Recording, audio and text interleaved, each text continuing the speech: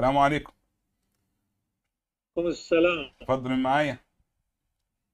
أنا علي من العراق. طيب علي العراق. شيعي ولا سني يا علي؟ شيعي. موضوعنا المهدي. اتفضل يا علي.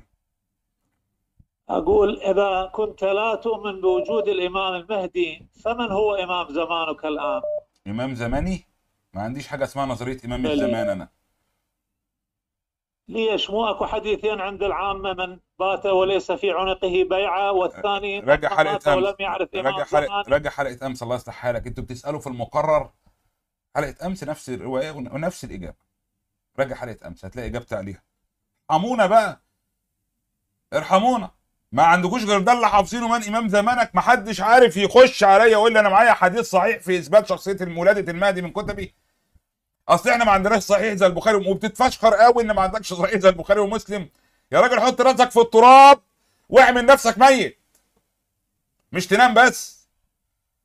يا عقلاء يا أهل السنة عندما يأتيك شخص ويقول لك ويفتخر إنه ليس لديه حديث صحيح في ولادة أهم شخصية محورية في الدين الشيعي.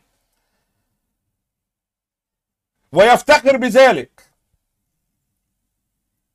ترد عليه تقول له إيه؟